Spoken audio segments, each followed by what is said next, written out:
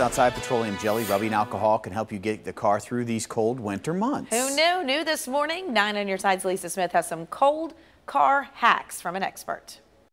Yeah, there are probably a lot of things that you have just around the house, or you can easily get at the store that can help you with this wicked winter weather when it comes to your car. Joining us now is Logan Roberts. He is the manager here at the AAA Auto Wash on Central Parkway. And there are a lot of things that people have around the house. Um, but one thing that people are always trying to deal with is windshield wiper fluid. Tell me about the specifics of that.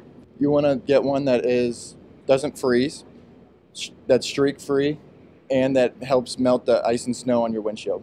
Also, petroleum jelly. Who would think that Vaseline, simple Vaseline, can help you with the car? How does that help? You can put it around the gasket around your doors that doesn't crack and get, when it gets older. You put on the locks on your car so it helps not freeze them. And then kitty litter. People hear about kitty litter all the time. How does that help? If you're stuck in the snow, you put it under your tires and it helps you get traction. Okay. And then finally, alcohol. How does alcohol help you with your car in the wintertime? You spray it on a towel and wipe your windshield wipers down, and it gets all that grime off of it. Okay, some really good tips. And then you also say be sure to just wash your car in the winter because that helps as well. All right, thanks so much, Logan. And hopefully, those are some tips that you could use as you're trying to get through this winter weather. Lisa Smith, nine on your side. Lisa, thank you.